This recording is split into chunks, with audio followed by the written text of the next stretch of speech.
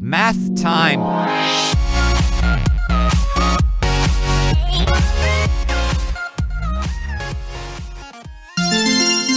Hello everyone, today we're going to talk about the six trigonometric ratios. Solving a right triangle given the length of the hypotenuse and the length of one leg. Solving a right triangle given the length of the hypotenuse and the length of one leg. Suppose this would gonna be our problem. In this illustration, we are asked to find the measure of angle A, so right here, and the measure of angle B. Okay, that one. And the length of side A. So where is side A? So this would gonna be our side A. Well, of course, if this would be our side A, this would be our side C, which is our hypotenuse. And our side B would gonna be equal to 5. Okay, so this is very easy. Right here, we can apply the Pythagorean theorem. So we could find the length of the side A. Okay, so we could have the first one. By the way, let's write first what are the given. Okay, so we have side C, okay, that is 13, which is referred to as our hypotenuse. And side B is equal to 5. So we have A is equal to unknown. And we are also looking for the measure of angle A and the measure of angle B. Okay, first up, we have to solve first the measure of, okay, solve for the measure, solve for measure of angle A. Okay, solve for the measure of angle A. So if this is gonna be the angle, so therefore, uh, from the given, we have adjacent. So since A is our opposite, and B is our adjacent, and C is our hypotenuse. So from the given, we have to make use of what is given. So adjacent and hypotenuse. So if you're going to take a look with the mnemonic device, what is, uh, what particular uh, equation are we going to use? Is it sine, cosine, tangent, or cosecant, secant, or cotangent? So from the given, we have adjacent and hypotenuse. So therefore, we can make use of CAH. Okay? Which means cosine is equal to adjacent over hypotenuse. So right here, we have cosine A, or angle A rather. Alright, so that way is equal to adjacent, that is B, over the hypotenuse. So as we're going to uh, substitute, you would have it here, therefore, what is the value of our B? That is 5 over 13. That is cosine angle A. Or we could also write as cosine A. No more symbol for the angle. So we're looking for the measure of angle A, right? So we have to uh, have the inverse of cosine. So we're going to transfer cosine there. So therefore, angle A is equal to inverse cosine of 5 over 13. Alright. So what is the value of inverse cosine? You can make use of your calculator. So angle A is equal to inverse cosine 5 over 13 and that will give us 67.38. Okay? So degrees. So measure of angle A is equal to 67.38 degrees. So meaning to say this one is 67.38 degrees knowing that this is the right angle. So next up, we will look for the measure of angle B. Okay, so this is gonna be easy for us now to solve for the measure of angle B since we already have these two angles given. And remember that in a right triangle or any triangle, the totality measures of the angles of a triangle is equal to 180 degrees. So therefore, we could have solve for measure of angle B. So from there, the measure of angle B is equal to 90 degrees. Okay, so since there is already 90, so these two will also be equivalent of 90 degrees. They are uh, complementary angles. Okay, so right here 90 minus the measure of angle A. Knowing that, we got already the measure of angle A here. So, this is measure of angle A. So, 90 degrees minus 67.38 degrees. So, therefore, you would have 22.62 degrees. So, that is now the measure of angle B. Is that clear now? Okay, so we have already solved that the measure of angle A is equal to 67.38 degrees. And measure of angle B is 22.62 degrees. Because if we're going to combine them together, that will give us equivalent exactly 90 degrees. And last one that we're going to look for is the length of side A. This one. Okay, so this is very easy. So we'll just make use or use the Pythagorean theorem. Alright. So what does Pythagorean theorem states? Theorem. Okay, in a right triangle, the hypotenuse, the square of the hypotenuse is equal to the sum of the squares of the two legs. So in here, our hypotenuse is 13 and our side is 5 and the unknown that is a. So therefore you would have the square of the hypotenuse that is represented by c. So c square is equal to the side, the squares of the two legs, the a and b. So you have a square plus the b square. So substitute, this would gonna be 13 square is equal to a, that's the unknown, plus b which is 5 so therefore, we simplify what is 13 square. That will give us 169.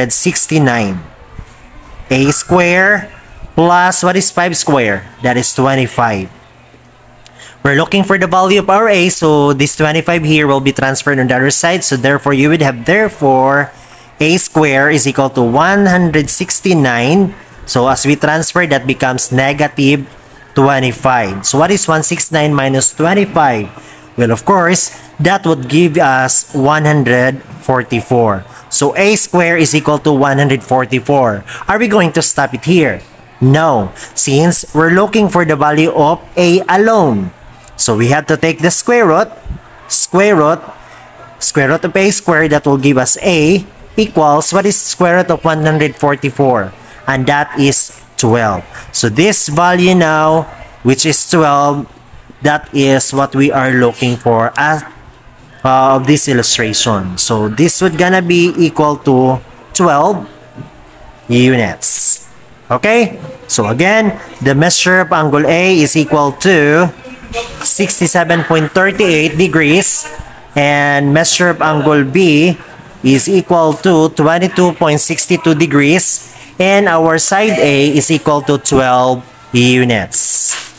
Are there questions? Okay. Example number 2. Triangle SPA is a right angled at P.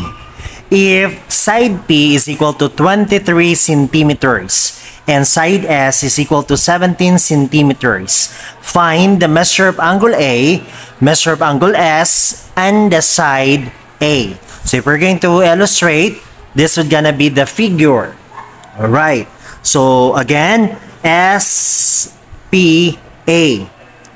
Okay, we have right angle here at angle P where side P, this uh, this side in here is 23 centimeter. And side S, this one, is equal to 17 centimeter. Okay, what we are asked here is the measure of angle A, this angle here, measure of angle S, this one, and of course our side A. This one. Okay, so from the given again, let's write. So from the given, we have side P is equal to 23 centimeter. Side S is equal to 17 centimeter. And we are asked to find the measure of angle A. Okay, measure of angle S. And of course, the length of side A. Alright. So again and again, our given here is uh, we only have side S. And of course, this one is our hypotenuse. We do not know what kind of side is that. Would that be opposite or uh, adjacent? Okay, so let us solve for the measure of angle. Let's say, let's start from here. Angle S. Okay. So to solve for the measure angle S, you have then the opposite side is already given. And we have the hypotenuse which is 23. Okay? So, meaning, uh, among the six trigonometric ratios, which do you think is most suited or trigonometric ratio can be used for us to find the measure of angle S? So, right here, we could have so. Why? Because from the given, we have opposite. And we have also here the hypotenuse value. So you can have sine angle S is equal to opposite, that is side S, over the hypotenuse, that is side P. So let's uh, substitute. So this would gonna be 17 centimeter over 23 centimeter. So sine angle S. So take the inverse of sine since we're looking only for the value of angle S. So you would have angle S is equal to inverse sine that is 17 over 23. So what is the value? That will give us 47.66 degrees. So that is the measure of angle S. Okay. So we already have this value here. This uh, this means this is 47.66 degrees. Of course, these two angles, angle S and angle A, are complementary angles since if we're going to combine them together, this would give us 90 degrees plus 90, a total of 180 degrees. So to solve for the measure of Okay, solve for the measure of angle A. Okay, so to solve for that one, therefore you would have measure of angle A is equal to 90 degrees minus the measure of this one, angle S. Well, actually, you can still make use of the six trigonometric ratios if you would have to solve for the measure of angle A. Okay? But this is gonna be, I think, the best way or easiest way for us to solve for this. Okay, so therefore you would have 90 minus 47.66 degrees. So this will give us definitely 42.34 degrees. And that is the measure of angle A. Okay? So from here, the measure of this angle here is 42.34 degrees. If we're going to combine 47.66 plus 42.34 degrees, that is equal to 90 degrees. Okay, so uh, what's the remaining unknown here? So we have this one already. This is angle A is 42.34 degrees. This one is 47.66 degrees. Okay, what is left here, uh, what is unknown here again is the side A. So to solve for side A, you would have solve for side A. Okay, So make use of the Pythagorean theorem. So again, for the Pythagorean theorem is stating that the square of the hypotenuse is equal to the sum of the squares of the two legs. Alright, so our given here is the hypotenuse is side P. So P square is equal to, we have side S square plus A square. Okay? So substitute. So this would gonna be 23 square. Okay, equals, what is side S? That is 17. 17 square, square rather, I'm sorry. A square. So you have therefore A square is equal to 23 square. What is 23 square? Equivalent of 529. Okay, minus, so as we transfer 17 square on the other side, that will become negative. So what is 17 square, a square rather?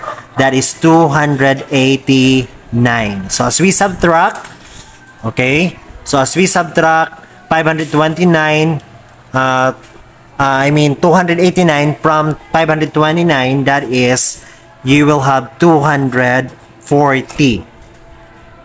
So a square is equal to 240. So take the square root, square root, that is a therefore, uh, can we still simplify this one?